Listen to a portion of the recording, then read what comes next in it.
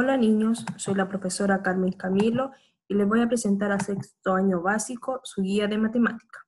En ella vamos a trabajar el objetivo de aprendizaje o A5, que es demostrar que comprende las fracciones y números mixtos. Primero, vamos a escribir el nombre de las siguientes fracciones.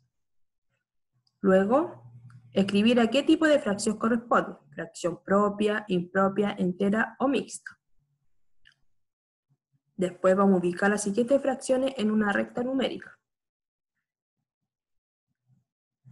Después, unir con una línea cada fracción con su fracción equivalente.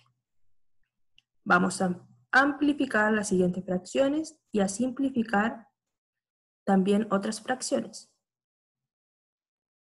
Vamos a hacer suma de números mixtos y recta de números mixtos.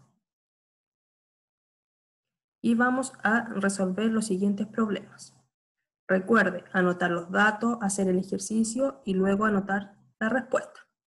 Esa es la guía de aprendizaje para sexto año básico de matemática. Ahora a trabajar.